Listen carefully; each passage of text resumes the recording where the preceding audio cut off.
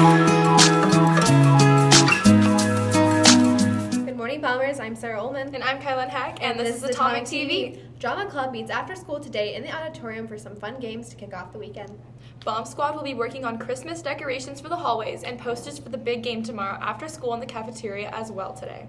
Outdoor Club meets at lunch in Mr. Albertson's room for food and fun. The PTSA made a new t-shirt. Let's go check it out.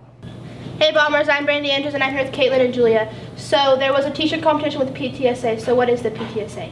PTSA is the Parent Teacher Student Association and we raise money to go towards uh, scholarships and helping teachers out, clubs, stuff like that. So I heard you won the competition, so what inspired you to make that shirt? I saw an announcement about it, so I kind of just threw some ideas together and just came up with it. So when can these be sold? Uh, we will be selling them in front of the office at different days so you'll see the booth setting up. I know next week we'll be up there all week, mm -hmm. and, and then we'll have some of them at the football game. Go Bombers! Thank you. Congrats on winning. Now back to the studio. The Bomber Boosters are selling state shirts for $10 in the concession stand at the gym and at the basketball game on Friday night.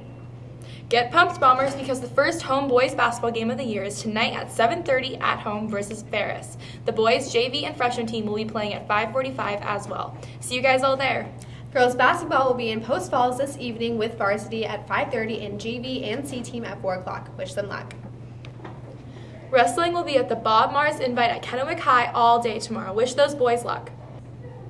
Don't forget to wish football players good luck too as they head off to state this morning. We also hope to see you Bombers representing the Dome tomorrow as well. Here's Morgan and Dylan with more, more information.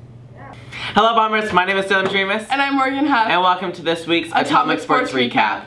The Richland Bomber football team is going to state. Their previous game against Skyview was a doozy. It was a total score of 35 to 7. The Richland Bombers will be playing at the Tacoma Dome this Saturday. Recently, our winter sports have begun, and our boys basketball team won 86 to 81 against Lewiston, and our girls basketball team lost against Wenatchee 49 to 52. Wish our teams good luck this week, and back to the studio. The new after-school meal program will be starting on Monday. Remember to be positive and respectful to keep this program going.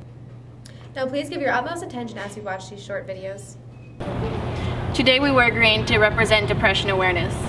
Teen depression is a serious mental health problem that may cause a persistent sadness or lack of interest in activities.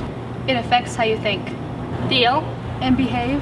It can also cause emotional and physical problems. It's not exactly what causes depression, but a variety of issues may be involved.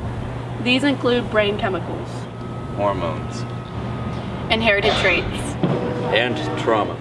Sometimes teen depression can result from environmental stress.